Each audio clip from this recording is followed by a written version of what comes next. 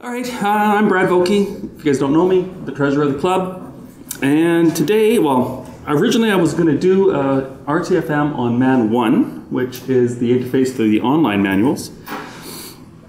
But it quickly kind of morphed into really Man 7, which is how to format the man pages and make your own man pages. Because that's what I wanted to do. I wanted to write my own man pages, so I decided to move that route. And if we were to spend some time on Man 1 and Man 7, there's enough material to fill two presentations, so I'm just going to breeze through Man and just really go to Man 7, which is really the macros to make man pages. So on we go. Let's start with the history man. Oh, no. Gotta be careful when you're searching for man stuff on Google. so here's one of the first man pages. And man pages actually outdate the man command itself. So this is an OCR scan of an original man page cat from the Unix System 1 manual dated November 3rd, 71 on the top left there. And as you can see, um, it's basically the same kind of format that we're using today, layout-wise. Name, synopsis, description, all that stuff on the left. Left indented, right indented. And uh, check out the owner. This is different. We now call this authors because nobody really owns Linux. Um, and even on BSD, it's called authors. Um, and who do you think those Ken and GMR are? Ken Thompson Ken and Dennis Thompson. M. Ritchie. And what's the M stand for? Dennis MacAlistair Ritchie. They're the original authors of uh, Unix. What I found was interesting was that even back in 1971, they couldn't come up with a username styling convention. Yeah, but they had no bugs. Um, Well, yeah, you know, reading somebody this is a this is an interesting archive place you can go to. It's all the original man catalogs, and we had a copy of maybe the System Five. Is that catv.org? Uh, yeah. Anyway, when I was paging through it, there's a lot of these old commands that do have bugs in them, and going like, you know, we really should restrict this to super user, and it's like, yeah. Uh, so what is man page?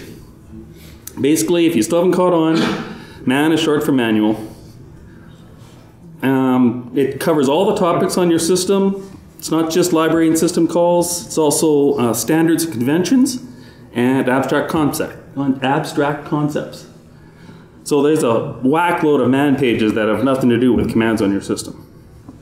You normally view it by just typing the man. This would be like the man one RTFM. Type the man, section number is optional, and type in the page name. This on Wiki, this actually says command name, which is kind of misleading because there's lots more of, as I said, man pages that have nothing to do with commands. And by default, when you run man, it pipes it to more or less like a pager program. So the output you're getting from man isn't really even man at all. You're using less or more, and I'm not going to go into any of that stuff. So here's what a real man page looks like when you actually look under the hood. On the right there. It's basically just a, uh text file. It's formatted with a collection of groff typesetting commands and that are defined by the man package, man macro package. And this basically has stayed consistent since about 1979.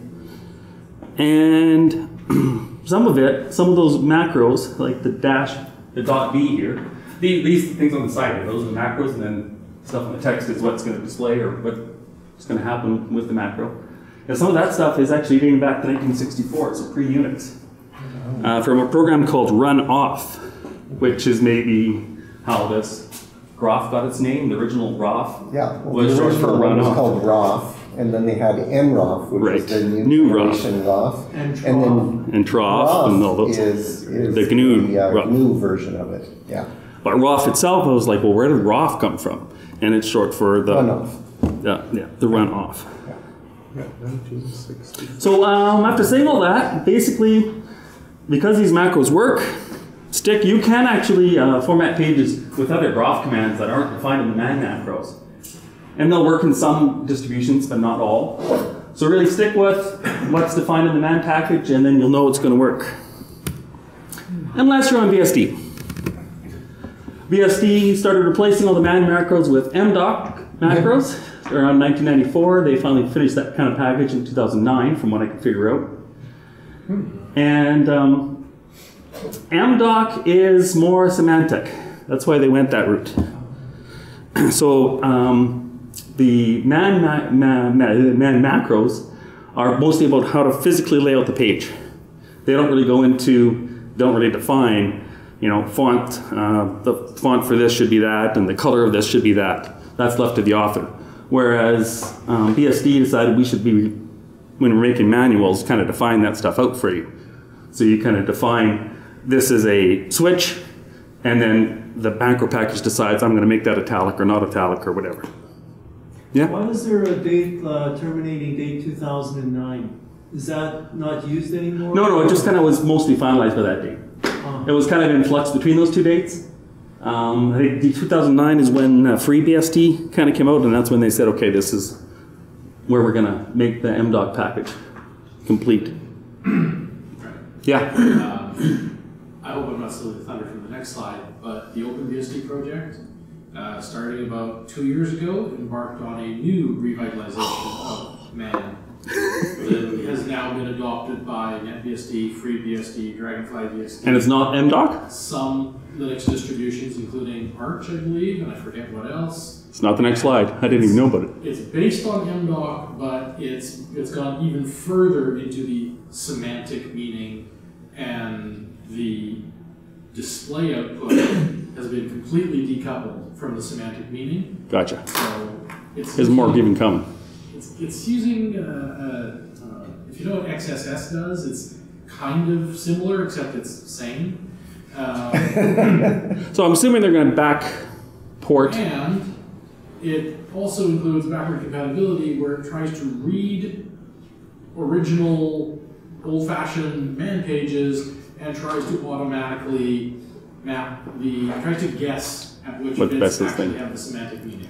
Well, that's what the very good thing here. I don't have to worry about it because man in all the distributions actually calls this package, which actually goes and checks is this a man formatted document or is it an MDoc formatted document and does the right thing.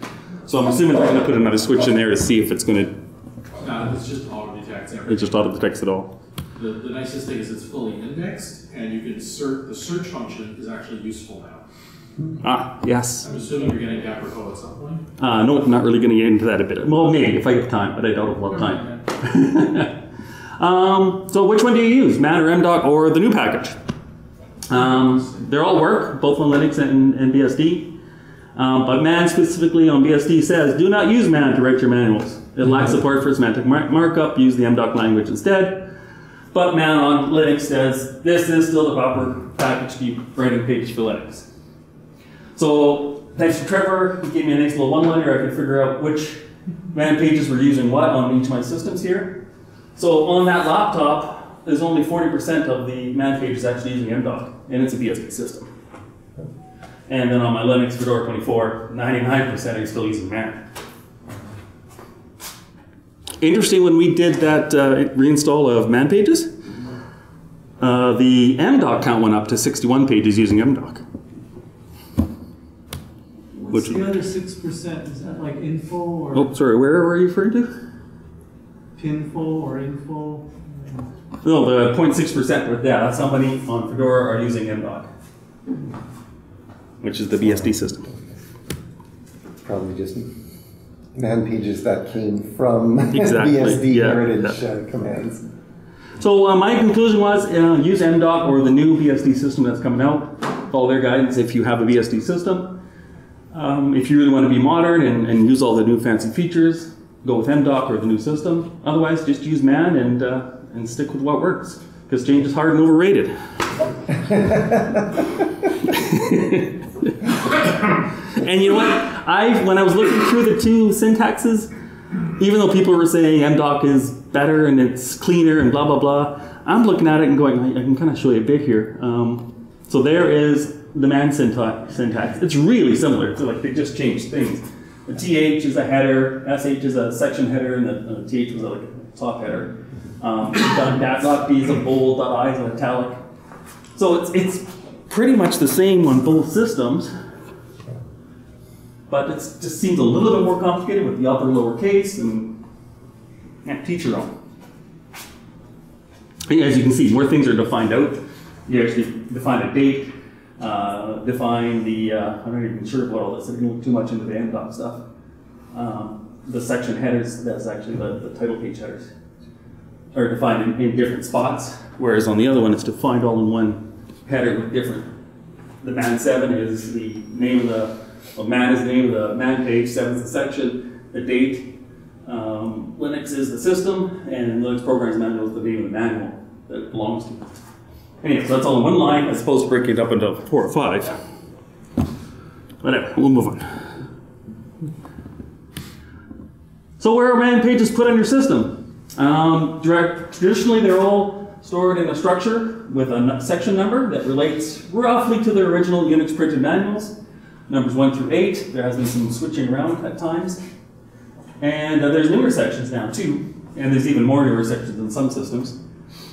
So you can, um, you can. Uh, I'll show you how to look to see what your system supports. So basically, the man one command, which is the man command for uh, viewing man pages, is stored in section one. 'cause That's a general command, and uh, you'll notice that a lot of them are gzipped up. They don't have to be, but most of them are gzipped up. At least on Linux, they are. Whereas the man seven, which is the miscellanea, is the description of how to make man pages, is stored in section seven. And then if you're going to make up your own man pages, throw them in user local as opposed to user share.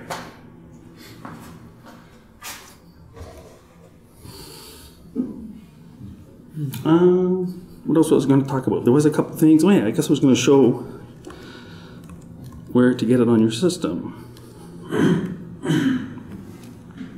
So there's a there's a command called manpath.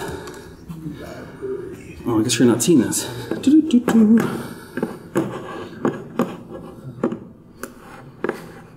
This coming over there?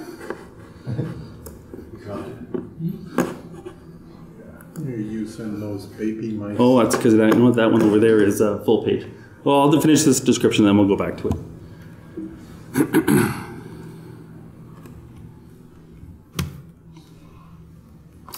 so where can you get help? This is where you can go for your documentation. Man-pages in, in section 7 is where you'll find all the conventions for writing a proper Linux man page. The sections that it needs, um, how to write stuff in those sections, proper language to use, all that sort of stuff. If you're using your own man pages for yourself, you don't have to pay too much attention to it, but you should still read through it. And that is the, pa- the man page you should read for all the macro commands, groff underscore man. And uh, if you're going to do it, do it with mdoc, then that's the one you need to define all the mdoc commands if you want to look up what each dot command does. So let's see if we can quickly make a man page. For this, maybe I'll put on mirror mode. All right, can you read that to make it bigger?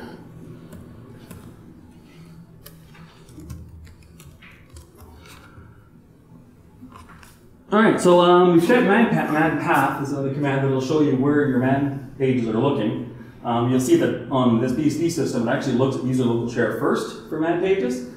Then it lo- looks at user share man for man pages. Then it looks at other places. So make sure you have that directory in there if you're going to make your own. Otherwise, you, can add that to the uh, the man uh, configuration file, um, which I should grab my notes here. Do-do-do-do, That was that's what uh the man configuration file looks like here. And it's in etc. Uh, etc slash uh, man uh, dot conf. And on Linux it was man mandb.conf, I believe. Anyhow, so in here there's a section. And da, da, da, there's your man pass that you can set. You're here. And then uh, in here you can also have your section numbers where this will show you what sections the man page will be looking for. Right there, man section. So you can see that when it's searching for a command, it starts at one and it goes into one P. That's a, a subdirectory of the man uh, section. Uh, P stands for POSIX, so if there's any POSIX commands in one, it'll be in the 1P section. Uh, goes to 8, 2, that relates back to the original Unix manuals. That 8 used to be ahead of 2. They kind of switched those two sections around. And so on and so on and so on. You see there's also an L, which is also for local files, but I haven't really heard of anybody actually using that L section for their own stuff. They basically, if you write your own stuff, still put it, whether it's a 1 for command or 7 for general stuff or whatever. We use it at work. The L file? Yes. And what's the uh, P and O? Perl. Pearl? Pearl? P is usually Perl, Oh, okay. and O is usually. Never seen that. Yeah, good one. Hurdle. A good.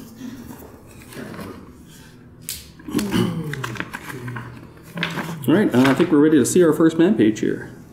Do, do, do, do. There's a simple man page. Ah, well, I thought the subsections were all the POSIX stuff. There's a whole section just for POSIX itself. I Guess there could be. Well, it's totally system dependent too. Yeah. There's no standard. All right, so um, this is just a simple file. We're making a little command program called corrupt, which modifies modified files randomly by changing bits. um, so there's our first header up there. Should I make this bigger? You can all see that, right? So basically, that is just uh, setting the header of the man page to corrupt and saying it's in um, section one. Uh, every man page should have that th, and they should have these basic options, description, synopsis, and name for their section headers. And you just define that with the .sh, and then whatever header it is. Um, the line here, that little slash, use the mouse over here, slash dash, is important to distinguish when you're doing man pages that that um, in that name section lets um, apropos will look for words after that when it's doing its searching for uh, commands that provide stuff. So if you're searching for files, this will come up as something for apropos. And it also um, properly formats it. If you don't put the dash in, it'll still kind of work, but apropos will have trouble finding it.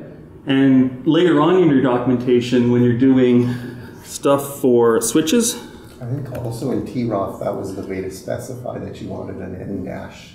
That's what I meant here. Yeah, exactly. Yeah. So um, if you want that dash to be a proper like minus switch kind of dash, um, Groff and troff will know not to split a line at that spot. Always stick it to the word before ahead of it and stuff like that.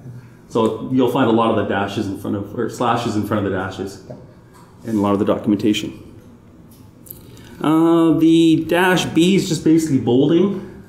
Um, yeah, okay, well, let's, uh, let's save this and let's actually uh, show you it. To just see one of your own man pages, where am I right now? It's there, corrupt one. So this is just in my own local directory called muug. There's just a file, name it with whatever section number you want at the end. You don't need to zip it, it doesn't have to be zipped. And actually display it, you can just force man to display it by putting in uh, that you want to display a local file and don't go searching for it. Oop. Yeah, corrupt is what we want. So it works. There it is. Just the authors. That's it. A lot of that stuff is optional. You can put it in if you want. Program, I prefer to remain anonymous. Now, can you do this to Dev Kane? So what? Like, just kernel memory or something? Oh, kernel memory. Shove the devs.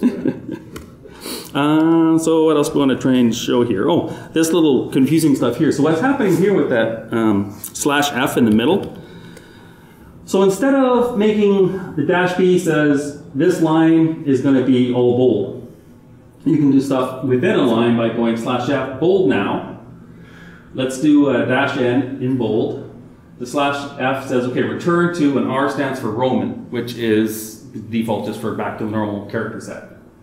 Um, and then we go over slash f says, okay, now in the same line, let's change the formatting again. I is italics, which in most of our man documentation just shows up underlined, saying that that is uh, something that we're supposed to substitute with our own stuff. And then back to Roman. So it's a way of putting it all into the same line without doing multiple lines with a dot B before each one. Some of them you can combine. Uh, let's see if there's anything combined up here. Not receiving. Line Oh, eight. BR, I think is. Line eight, the IR, it alternates between uh, Oh, right. and Roman. So what that is doing is, it says IR, make the first word file italic, make the second argument in this macro um, back to Roman. So if you look at this man page, uh, da-da-da-da. what were we talking about? It's a little further down, isn't it? Is it up there? Oh, yeah, it's right here. It is. Uh, Can't put it up that high. Uh, after the bits, the file is italic, but the dot dot dots are not. So that's what that was doing. Notice also that file and dot dot dot are stuck together with. Yes, space, even though- Even though they were separate arguments. Separate there.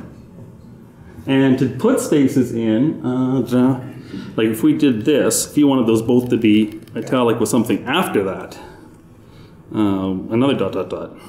Not that that makes any sense. But you'll see now that the bits and the file are both italic, and then we went, oh, sorry, the file and the first three dots are italic, and then we went to non-italic after that. And yes, the quotes don't show up because they're part of just the command. Just think of those things being thrown into a, a macro command, kind of like a command line of, of formatting. So if we want to actually put that into our system, so we have a man corrupt, because if we just go man corrupt, it's not going to show up. No manual entry. So you got to copy it into user local share. Doo, doo, doo. I guess I should actually copy corrupt into there. Make sure you put it in the right section. And do you use that quite often? Oops. There to corrupt files? No. it's a it's a dummy. Uh, it's, this is really a file. It's supposed to be April first today. All right, so that copied over to man, and now when uh, or that directory, now if we do a man corrupt, it actually shows up. You will note that right now it's not going to do uh, what is. Um, because you still have to update the database that what is uses and Pro uses to go look through all that stuff. Um, and on Linux, it's simple as man db return. On BSD, it's uh, update what is, but I had some trouble getting it working. I guess I can try again. You got to do uh, where was that again? etc exec library, library exec, libexec, Yeah. Uh, user. User. user libexec. Uh, what is no update? What is? PBS shutdown is a thing. I think it's Nequays. Oh, make what is. That's what it is, right? Yeah, of course. You can do a sudo double exclamation point and it'll rerun the last command. Just.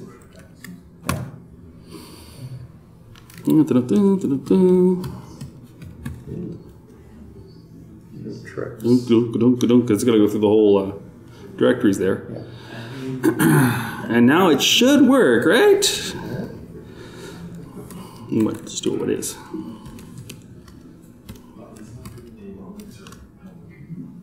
Still couldn't find it. So I think there's something else happening on the Mac. When I do that same command with uh, verbose, I can see it reading a whole bunch of stuff, but at the end it's supposed to say update on those two. Maybe it's not finding the local on the on this Mac. On my Linux system, it, it just worked with MakeDB and it just worked. Um, that's really about it. Any other questions? Yes. Earlier you said that the man would work with things like programs and, and different parts of the system. Would it work for him? Would there be a man wallet? Uh, man pages for KDE tend to be awful spurt, uh, sparse. They are pretty much full of very generic templates that doesn't really give very much information. Brad, what command did you just run? Uh, what? No, it was uh, make what is. Yeah, that's right. I'm thinking it's not looking at uh, Like, locals. This on BSD doesn't fully do a full reindex every time. It only updates. It only updates. I know I was reading somewhere else that you're supposed to do, um, it's called update weekly. Just run the update weekly command when you want to also have it done. You can run the man page on that and see if there are options for it. Yeah, man, Add man, path is, Uh, some of the other man stuff that might be interesting in this, you can do a man. What was that? and K Dash D.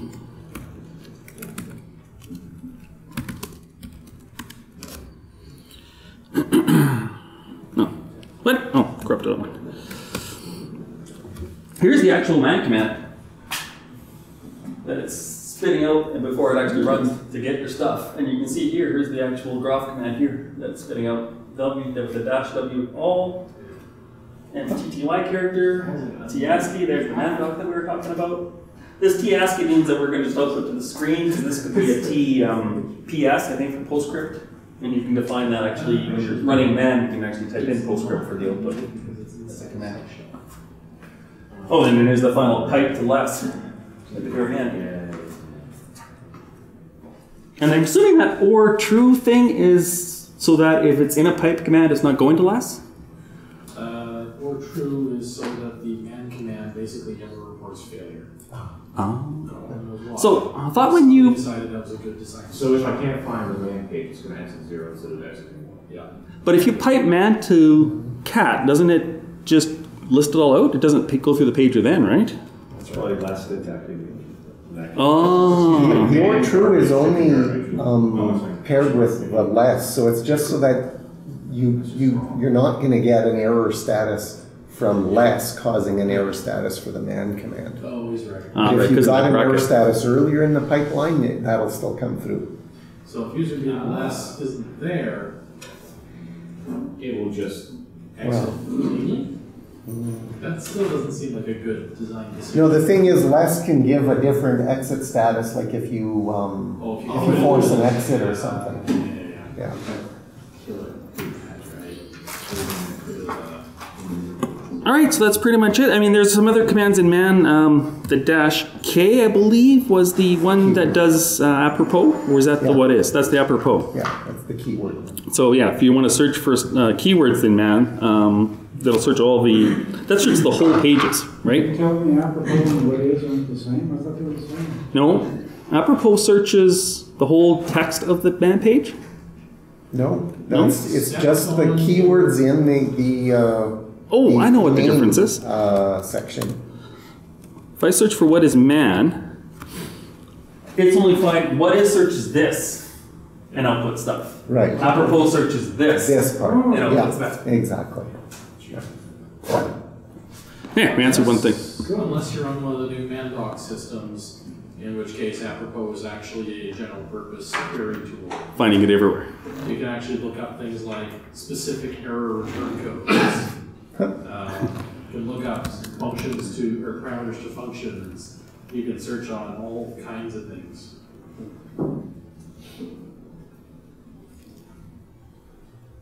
I thought there was something here. I mean, minus The capital K. So what's the capital K? Is that searching? That is that's the capital K would be searching the actual man page blurb completely, Yeah. right? Yeah. That's why it's warning very slow. How was that slow? I mean, it just wasn't grep. Yeah, but grep dash R on five hundred pages. That's tiny. Uh, let's try that. Good. You couldn't do just a simple grep because you gotta, pro- you gotta process the file. Asking you to open it? Yeah, yeah, it's you open it. Yeah, then okay, then you go on to others, and then finding that. Yeah, yes, yes, no quiz. Yeah. Gotcha, gotcha, gotcha. Going to the next one. There was another one too for um, man. I don't know if it's on BSD, where you tell man to find all the man pages that are that name, and it'll send them one after the other to less. It's on Linux, but I don't think it's here on uh, on BSD. Is that a dash A? dash A. There's no dash A, not alphabetically. Was there? Right there. After S. Oh, there we are. Because that's where A is. Those guys don't. Oh wait, those are uppercase, those are lowercase. So That's another upper. Oh yeah, okay. Screw that. and this bugged, bugged me too. There's a lowercase d and an uppercase d, right? Nope, there's a D right there. Okay, so ironically, this man page is a very bad example of a man page. So if I go man dash d, it's saying no, I don't have a dash d. What are you what are you asking for? What am I doing wrong? It's plainly saying there's d is a is an argument, right? Didn't you just- What was the command line? Yeah, man dash D. And it's giving you usage. uh, Hey, here's Five what you plus submit a patch to man for the next fifty years. This could be a Darwin thing. I don't know. Well, obviously it is. It's there right in the usage. too. Man page man. That's- Maybe you need the, the small d, not So the is capital D. built-in. Ooh. Oh, maybe. Yeah. Nope. How- if- I was writing that. I don't Hey, you know, that's enough for that. We'll touch on more stuff at future RTFMs. Thanks. Thanks, man.